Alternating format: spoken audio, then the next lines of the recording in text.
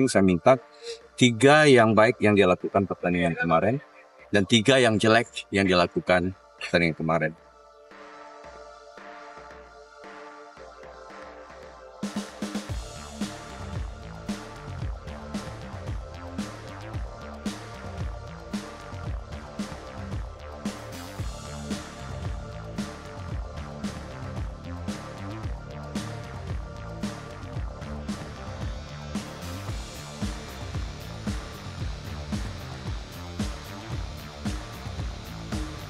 Tadi kita ada diskusi siang, pemain-pemain melakukan evaluasi, merefleksi diri dia masing-masing. Saya minta tiga yang baik yang dia lakukan pertandingan kemarin, dan tiga yang jelek yang dilakukan pertandingan kemarin. Dan saya bilang, apa yang bisa diperbaiki saat ini, contoh decision yang salah, bisa diperbaiki, tapi kalau first start yang masih kurang perlu waktu. Kalau teknis, ya skill nggak bisa secepat itu. Tapi kalau keputusan itu tergantung visi dia, tergantung bagaimana dia melihat situasi. Dan itu mungkin bisa diperbaiki secara cepat.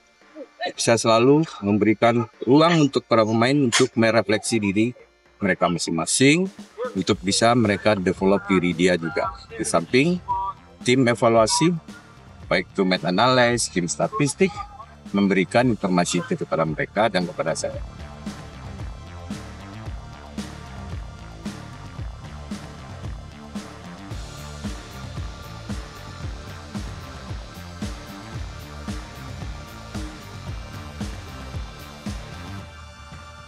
Saya minta nah, jangan ada dikotomi Jan Riven, kakak, ya kan, keturunan, tidak keturunan, tidak ada lagi kita bicara keturunan di sini. Jangan di tidak baik ya, tidak perlu dikembangkan itu. Jan Riven bisa aja besok starter, ya, dan kakak juga bisa starter.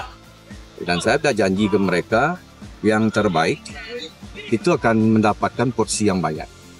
Karena IFF akan kita jadikan wadah untuk apa? Untuk kualifikasi AFC. Ya, kemarin kita dapat pengalaman berharga di Taulon Turnamen dengan tim yang umur di atas mereka dan itu banyak pengaruh penampilan mereka di saat ini.